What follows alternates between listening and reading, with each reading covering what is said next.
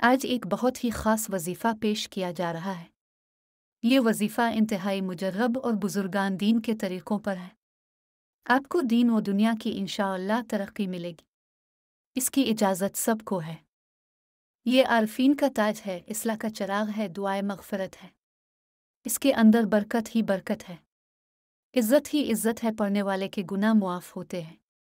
पढ़ने वाले की सज़ा मुआफ़ होती है, इस वजीफ़ा को करने वाले का रिस्क पाक होता है। ये अमल करने के बाद इंशाअल्लाह, अब जो भी दुआ मांगेंगे, अल्लाह करीम आपकी इस दुआ को कबूल व मंजूर फरमाएँगे। तो आइए आपको वजीफ़ा पढ़ने का मुकम्मल तरीक़ा बताते हैं। अगर हमारी वीडियोस पसंद आ रही हैं तो लाइक ज़रूर करें। शुक्रिया।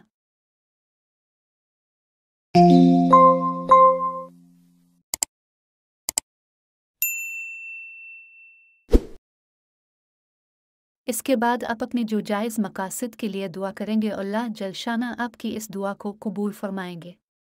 इस अमल को करने की शर्त यही है कि आप अल्लाह की ज़ात पर भरोसा रखें।